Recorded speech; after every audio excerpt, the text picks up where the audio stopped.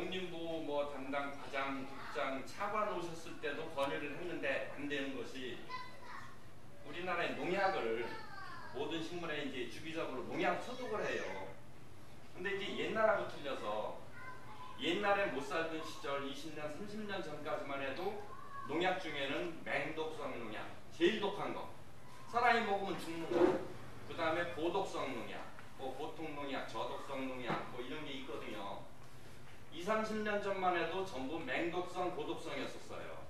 그래서 옛날에는 농약 먹고 자살했다는 뉴스가 심심찮게 나왔어요. 요새는 농약 먹고 자살할래도 안 죽어. 전부 저독성으로 바뀌었어요. 한 병을 다 먹어도 안 죽어. 그러니까 이제 그 독이 있어서 인체에 해롭기로 말하면 농사 짓는 사람은 옛날에 다 죽었어야 돼. 그렇듯이 지금 맹독성, 고독성 농약이 하나도 없어요. 그 전부 저독성 농약이거든요. 근데 이것이 이 기준이 미국 FDA, 미국 식품안전의약국이죠. 거기 미국 기준하고 한국 농약 기준하고 똑같아요.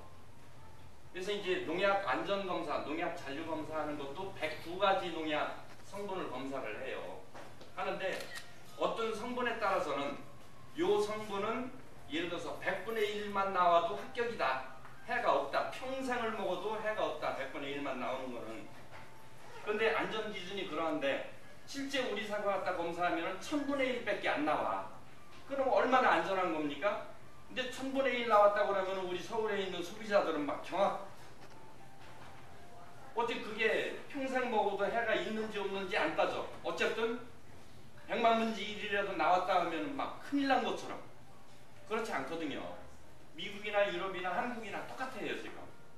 그래서 그거를 농림부 차원에서 좀 홍보 좀 해주십시오. 해도 소비자는 그거를 인정을 안 한다는 이유로 여지껏 안 돼.